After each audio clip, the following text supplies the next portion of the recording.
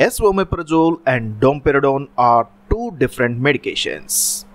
S-omeprazole is the S isomer of the omeprazole which is classified as proton pump inhibitor. Domperidone is a dopamine antagonist which can be used as an antiemetic. However, both of these medications can be combined in a single capsule for treating gastroesophageal reflux disorder, which is commonly known as GERD. GERD is one type of reflux disorder where the gastric acid is refluxed back into the esophagus. This results in the development of few symptoms like heartburn and a burning sensation in the chest, even regurgitation of the food leading to a sour taste in the mouth.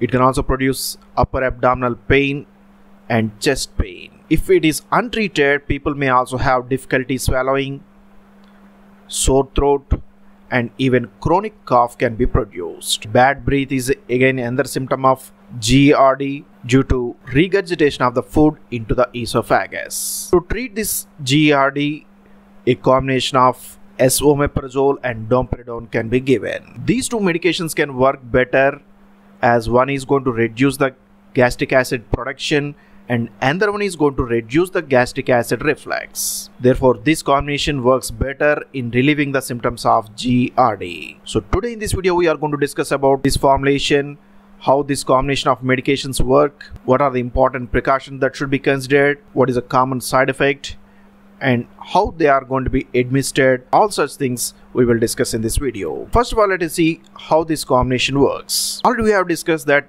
s-omeprazole is the S isomer of omeprazole. That means it is a pure isomer of omeprazole which has more selectivity and less side effects compared with omeprazole. This medication acts as proton pump inhibitor. Normally the gastric acid is released from the proton pump which is nothing but H plus K plus ATPase pump. This pump secretes the proton for exchange of potassium. That's why this pump is called H plus K plus ATPase pump. Chloride ions are secreted passively. In this way, by activation of this pump, both H plus ions and Cl minus ions are secreted leading to formation of gastric acid. The activity of this pump is going to be blocked by S-omeprazole. This medication is selectively accumulated into the acidic canaliculi where it is going to be protonated and in the protonated form it can inhibit the activity of this pump. When this proton pump is inhibited, gastric acid secretion can be reduced. In this way, S-omeprazole can reduce the gastric acid secretion. Domperidone acts in different way. It acts as a dopamine receptor antagonist. Dopamine plays an important role in increasing the gastric motility by acting on dopamine receptors. Now, domperidone can block these dopamine receptors, thereby it can reduce the gastric motility. It also acts as a prokinetic agent, that means it can control the gastric motility and restore the motility so that it can reduce the gastric acid reflux as well as regurgitation of the food along with the gastric acid in people with gastroesophageal reflux disorder. Since this medication reduces the gastric motility, it is also used as antiemetic agent.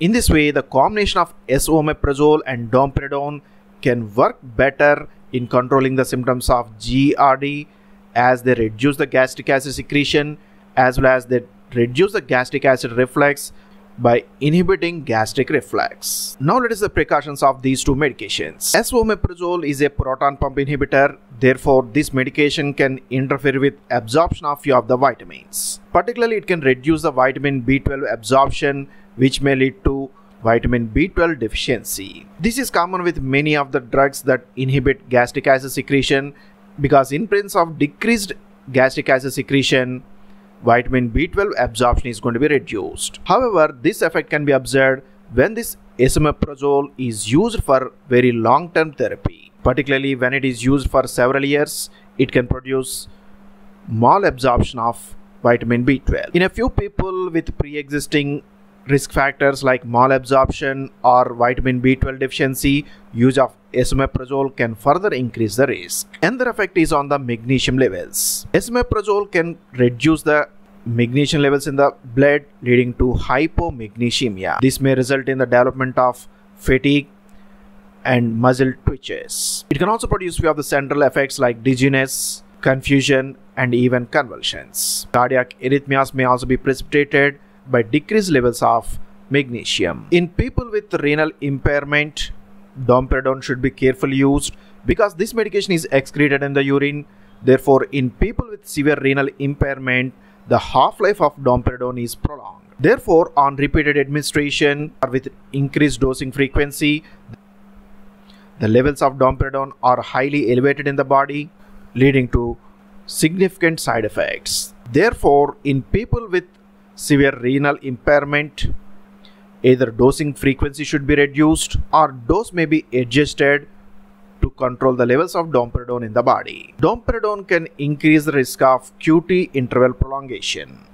Even though it is rare, but in people with pre-existing risk factors, use of domperidone may increase the risk. Particularly in people with ages above 60 years, the risk may be more pronounced. If you are taking other medications which increase the QT prolongation, again the risk may be increased. Using domperidone at doses greater than 30 mg again increase the risk of QT interval prolongation. Domperidone is metabolized by CYP3A4 enzyme.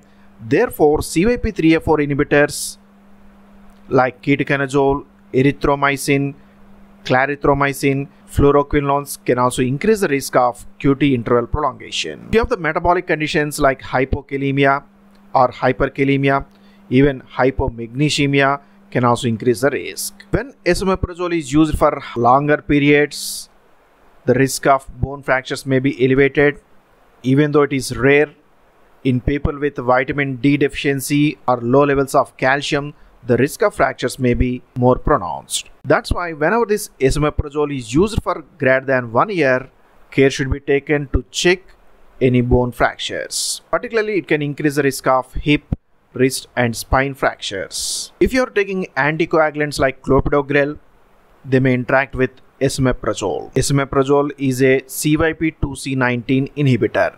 This enzyme is responsible for metabolism of clopidogrel. Therefore, when you take the clopidogrel along with esomeprazole, the metabolism of clopidogrel is reduced, leading to its elevated levels in the body. This may produce the risk of hemorrhage. Therefore, clopidogrel should not be taken with esomeprazole. When this combination should be avoided. In a few situations, the use of esomeprazole and domperidone should be avoided, particularly in people with gastrointestinal hemorrhage, or gastric perforation, use of domperidone can further increase the risk.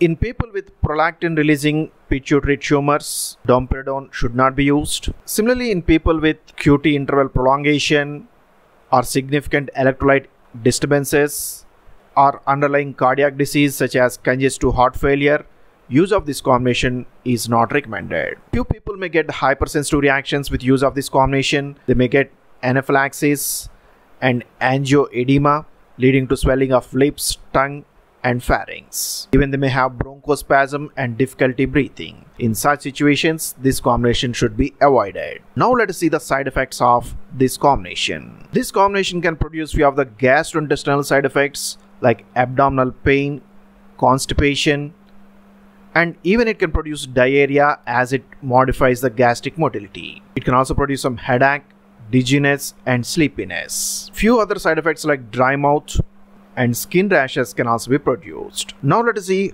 what is the dosage of this combination. This combination is available as capsules where each capsule contains two medications esomeprazole as well as domperidone. Here esomeprazole is available at a strength of 40 mg and domperidone is available at a strength of 30 mg. Esomeprazole is enteric coated and domperidone is prepared as sustained release pellets. That means from this the medication is slowly released for a prolonged period. This capsule should be taken at least one hour before a meal such that it can control the gastric acid secretion as well as reflux into the esophagus. However, the beneficial actions of this combination can be observed after few days of the treatment. Regular intake of this medication can show better actions on controlling gastric acid secretion and its reflux. So that's all about this medication, esomeprazole plus domperidone. I hope this video is useful to you. If you really like this video, please subscribe to our channel and share this video with your friends. Post your comments in the comment box. Thanks for watching. See you in the next video.